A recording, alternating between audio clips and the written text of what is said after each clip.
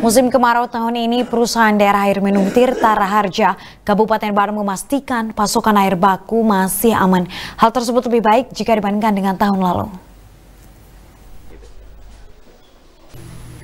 Meski hujan sudah mulai turun di beberapa daerah di wilayah Bandung dengan intensitas sedang, namun beberapa wilayah masih belum diguyur hujan.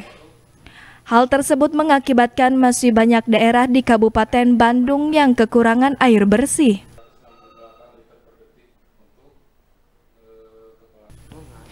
Berdasarkan data dari BPBD Kabupaten Bandung, sejak tanggal 22 Juli hingga tanggal 22 Agustus, sebanyak 430 ribu liter air bersih sudah disebar ke 87 titik di 15 kecamatan di Kabupaten Bandung.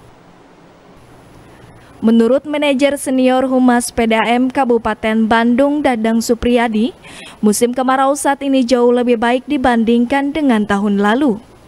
Hal tersebut terbukti dengan masih adanya distribusi pasokan air bersih ke seluruh pelanggan di Kabupaten Bandung. Bahkan pihak PDAM belum melakukan sistem rekayasa pendistribusian air bersih kepada sejumlah pelanggan karena pasokan air baku dari berbagai sumber mata air masih sangat aman.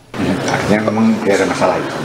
Ya, syukur alhamdulillah pada sampai hari ini kita supply kepada pelanggan maupun non pelanggan karena kita terlibat dalam bantuan air bersih untuk dampak kekeringan itu kita masih bisa supply dari instalasi yang besar dua yang besar itu. Nah, dibandingkan dengan tahun lalu, Mudah-mudahan tahun ini akan lebih bisa kita lewati kita harapkan karena ya kita tidak mau mendahului daripada uh, kekuasaan Allah, tapi lihat hujan ya beberapa minggu ini kan sudah ada sedikit dan mudah-mudahan ini pertanda di wilayah uh, khususnya Kabupaten Bandung di wilayah instalasi yang dua besar itu di Cikoneng maupun di Sukamaju itu uh, cepat uh, air bakunya menuju kondisi normal kembali.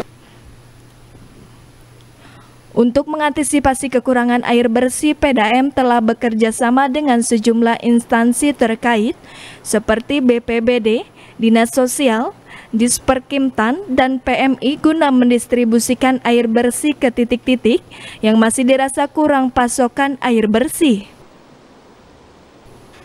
Rezitia Prasaja, Bandung TV